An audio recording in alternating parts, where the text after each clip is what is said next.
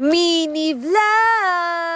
Happy 100,000 followers! Maaga nga pala nagising tong singalngal, pero mga bandang 10 a.m. nakatulog din siya. Tapos si Ate Avi naman ang nagising. Nag-iingay siya kaya binaba ko na lang. Tamang-tama din kasi magbe-breakfast na siya. Ipapatry ko nga pala sa kanya to kasi paborito yan ng tatay niya. Pati na rin ni Kuya Wazel. Bumibili na kami nito dati pa. Kaya lang hindi ko siya masyadong gusto. Yung banana cereal ang mas gusto ko. Tapos yun naman ang ayaw nila. Eddie meow. Konti lang muna ang ilalagay ko kay Ate Avi. Dahil baka hindi niya magustuhan ako masasayang lang. Ayan, ready na ang kanyang breakfast. Ako naman, ito na lang din ang kakainin ko. Pero baka antayin ko na lang siyang matapos dahil baka hindi niya maubos. Ako na lang ang kakain ng tira-tira niya. O, di ba very good talaga si Ate Avi. Na lang mag-isa ang umuupo sa high chair niya. Excited kasing kumain yan. Nakita niya rin kasi nakakaiba yung pagkain. Masarap naman to, kaya lang natatamisan talaga ako. Di kasi ako masyadong mahilig sa matatamis. Pwera lang sa Toblerone. Dito nga halatang nako-confuse pa siya. Kung pagkain ba to o laruan. Sobrang colorful kasi. Sige, sige, libangin mo ako. Nung nakita ko nga na parang hindi niya alam na pagkain to, sinubuan ko na lang siya. Ayun, mukha namang nagustuhan niya dahil hindi niya niluwa. Ang ugali kasi ni Ate Avi kapag ayaw niya yung pagkain, nako, niluluwa niya po agad. Kaya lang halata talagang nako-confuse siya. Ako, kailangan yata talagang subuan ko pa. Pero okay lang naman basta kumain siya. Pero hindi rin naman nagtagal kumakain na siyang mag-isa. At eto na nga't nakakaramdam na rin ako ng gutom. Kaya kumuha na rin ako ng para sa akin. Nagustuhan na rin kasi ni Ate Avi kaya parang wala na akong aantahing tira. Natatamisan talaga ako sa kanya. Mabuti na lang pang balance talaga yung gatas. Tapos na ako kumain at habang kumakain pa rin si Ate Avi, niready ko na yung mga susuotin niya. Dahil after niyan paliliguan ko na. Pero bago ang lahat, ipapainom ko na nga pala tong binil kong vitamins para sa kanya. Naalala ko kasi na ito yung pinapainom na vitamins sa amin ng mama ko. Kaya gusto ko ring ipatry kay Avi. Hindi pa nga pala pwede to kay Ngalngal. Para nga pala sa 1 to 3 years old, kalahating kutsara lang po ang ipapainom sa kanya. Mabuti na nga lang dit hindi niluwa ni Ate Avi. Medyo pangit kasi ang lasa nito. Lasang kalawang. Paano ko nalaman, edi tinikman ko ngayon. Yung vitamin C naman niya, mamayang hapon ko na ipapainom. Mas okay daw po kasi kapag hindi pinagsasabay-sabay yung vitamin. Dapat isa sa umaga, tapos isa sa hapon or gabi. O, di ba ang bilis nakaligo na agad? Kailangan talaga naming bilisan dahil baka magising na singalngal. Minomonitor ko naman singalngal sa camera. Tulog pa rin, kaya may panahon pa akong magsain. Sinat ko na rin si Daddy Bay na dito na siya mag-lunch. Uulamin na lang namin kung ano ang meron dito sa bahay. Naalala ko din kasi na meron kaming pansit canton na binili. Habang nagaantay na maluto yung sinae, pinakain ko naman si Ate Avi nitong breadsticks. Ayun, nagustuhan niya din naman. Bihira ko kasi talaga siyang pinapakain ng mga ganyan kaya naninibago siya. Prutas at gulay po kasi talaga ang lagi kong pinapakain. Marunong na nga rin po pala magpunas ng sarili niyang sipon. O, di ba? Good job, Ate Avi. Eto na nga lang din pala yung uulamin namin. Pati na rin tong karubi. Pauwi na daw si Daddy Bay kaya nire-ready ko na. Kailangan before mag 10 minutes maluto ko na tong mga to. Same procedure lang naman ang pagluluto ng pansit canton na katulad ng nakasanayan natin. Tapos itong karubi sa sobrang tigas ganyan na lang ang paghiwa ko. Itsura po talaga niyan ay parang bacon. Nung kumulo na yung tubig, nilagay ko na yung noodles. Yung mga gulay-gulay naman niya, isinabay ko na rin. Para lumambot, halu-haluin lang ng konti tapos chinecheck ko na kung okay na yung noodles. Ayoko kasi nung malata. Pero ewan ko, yung isa kong kapatid gusto yung ganun. Ayan, isa-set aside ko muna to. Tapos next ko na agad tong isa. Alam nyo bang litong-lito talaga ako kung lalagyan ba yan ng sabaw o hindi? May nakalagay kasi na soup. Pinasa ko din naman yung instruction. Tanggalin daw yung sabaw o mali lang ako ng basa. Katata kasi sa ulo ko na pansit canton yan, sabi ni Daddy Bay. Habang inaantay kong lumambot yung noodles ng isa, ilalagyan ko naman ng sauce itong isa pa. Dahil ramdam na ramdam kong parating na si Daddy Bay, nasa biyahe na kasi kanina pa. Ayan, okay na rin to. Uhugasan ko lang ulit tong lagayan, tapos dyan na rin ako magpiprito. Naglagay lang ako ng konting mantika, tapos dyan ko ilalagay yung karubi. Tawang-tawa talaga ako dito sa isang noodles. Ako bahala na nga yan. Okay na rin tong isa, kaya magpiprito na ako. Sobrang bilis nga palang maluto nitong karubi. Ito yung ginagamit namin kapag nagsasamgyup kami. Mga one minute lang okay na po ito. Ayan, for the plating na.